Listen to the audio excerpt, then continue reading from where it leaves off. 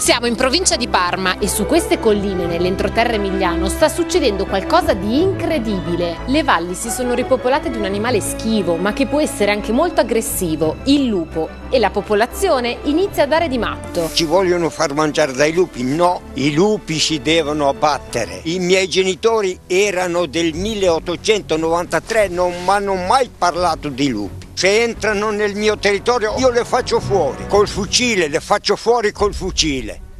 Sì. Ce n'è migliaia e migliaia. Emilio è esasperato come la gran parte degli abitanti della zona. Qui le case e gli allevamenti sono a contatto con i boschi dove vive il lupo. Le proprietà hanno sì le recinzioni, ma non adatte per questi super predatori che le saltano e di notte attaccano. A rimetterci la vita in questo caso è un cagnolino. Eh sì, perché oltre a papparsi gli animali del bosco, sentite cos'è successo a Raffaella. Il lupo mi è saltato dentro e mi ha mangiato completamente una capra.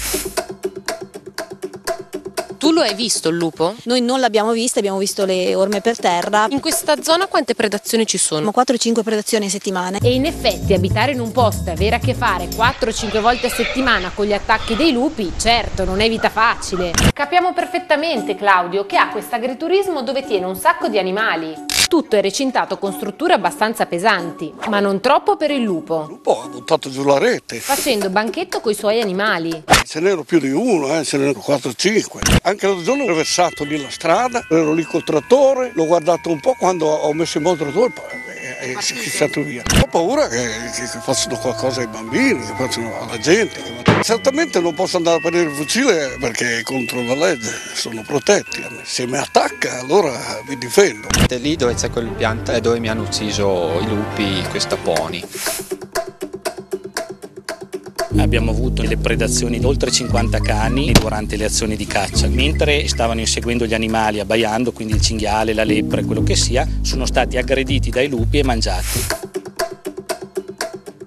Lei ne ha mai visto uno? Di proprio in piazza. Gira anche intorno alle case? Sì, sì, hanno ucciso due cani. Dobbiamo fare in modo che l'animale non giri per le strade di notte dove giriamo noi. Lo dobbiamo catturare e portarlo fuori dalle scatole. Vivendo qui ti entra in testa la paranoia che da un momento all'altro ti possano attaccare. Hai paura a lasciare i bimbi giocare all'aperto, ti vedi sbranare gli animali a cui vuoi bene, oltre ai piccoli allevatori che perdono più di 1000 euro a capo. E anche a noi sale un po' la paranoia mentre stiamo intervistando Emilio. Voglio colpire, colpire di non lasciare padronare i lupi. E suo fratello, che ovviamente se incontra un lupo, Eh, se c'ho il fucile ci sparo. eh. improvvisamente a furia di parlare di spari e di lupi, po', ma cosa è Io no, mi sembrava anche a me. passato di...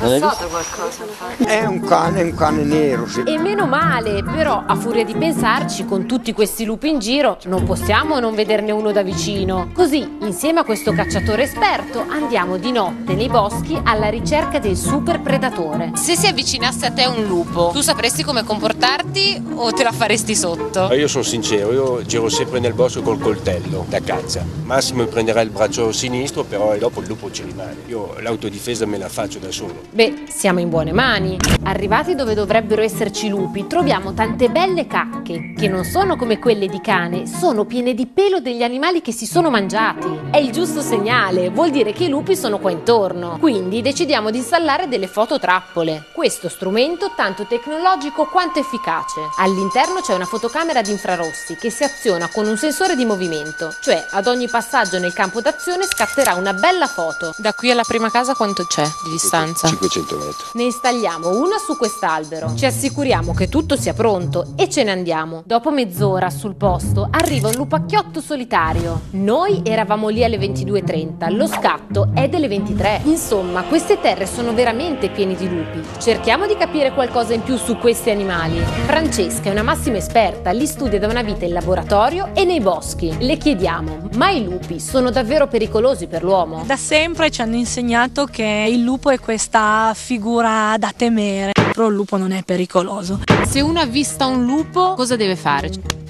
Rumore, eccetera, il lupo se ne va. Certo, se ne va dall'uomo, ma esiste un modo per tutelare i propri animali? Vengono citate le reti elettrificate. Che sono queste? Se un lupo si avvicina per saltarle, prende una leggera scossa e torna indietro. E l'altro modo per proteggersi? I famosi cani da guardiania con i cagnoni bianchi. Insomma, in mare e mani, pensate che in questa fattoria dove ce ne sono tre, perfino gli animali selvatici si sentono protetti e li vediamo belli spaparanzati a godersi la vita. Questi sono i consigli degli esperti per convivere con il grande predatore. Però chi vive sul territorio e ha raccolto 9000 firme la pensa in maniera diversa. Ci propongono i cani antilupo, sono aggressivi nei confronti dell'uomo. Cosa facciamo? Ci salviamo dal lupo e ci facciamo mangiare dai cani antilupo? Questa valle siamo sempre stati abituati ad averla libera. Come è stato cent'anni fa con le nostre bestie al pascolo senza recinti, senza niente. Se vogliono i lupi si facciano il recinto per i lupi, non che le dobbiamo fare per le nostre bestie. Ma alla fine, se questo è un animale selvatico che sta nei boschi, perché ce lo ritroviamo davanti a casa? I territori in montagna non sono più disponibili perché sono occupati da branchi di lupo. Ogni branco occupa spazi immensi ed è composto generalmente da 4 o 5 esemplari. Il gruppo difende il suo territorio uccidendo gli altri lupi che lo invadono. E così i giovani in cerca di spazi selvaggi, non trovandoli, scendono a valle, entrando, come abbiamo capito, in conflitto con l'uomo. Tant'è che chi va per boschi questo conflitto lo risolve così. Stanno che ne abbiamo già ammazzati 15.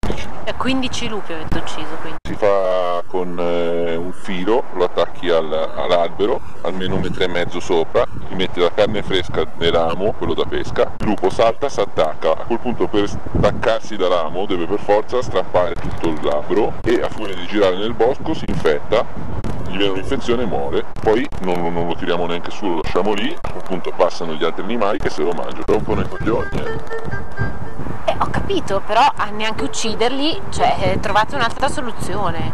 E questa è l'unica soluzione ad oggi è questa. Ma lo, lo- sapete che rischiate anche di finire in galera?